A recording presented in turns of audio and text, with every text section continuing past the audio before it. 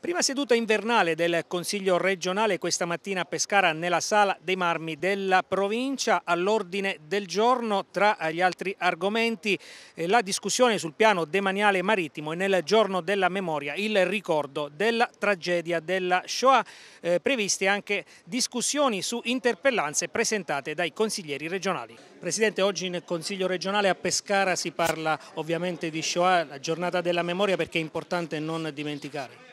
Certo, perché il rischio è che le civiltà rincontrino ciò che hanno già patito con il dolore e con il sangue. Allora fa bene ieri il Presidente Napolitano a ricordare che le collettività locali devono coltivare la memoria, perché la memoria è una grande infrastruttura del vivere collettivo.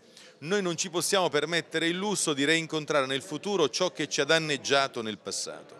Oggi faremo una giornata di preghiera laica tra tutte le formazioni politiche, ma soprattutto oggi noi dobbiamo dare un contributo al sentimento nazionale del nostro Paese. All'ordine del giorno in Consiglio oggi c'è anche il nuovo piano demaniale marittimo. Finalmente arriva a conclusione questo procedimento, poiché in Abruzzo si aveva l'abitudine di scrivere sulle carte con un po' di inchiostro ma di non arrivare mai a conclusione. Noi vogliamo essere il governo che gli impegni li prende e li mantiene per tempo, cioè velocemente senza prendere le multe. Dal piano demaniale marittimo si passa poi al dragaggio, eh, i fiumi, Pescara ma non solo, state lavorando molto per eh, migliorare una situazione che per troppi anni è stata eh, carente.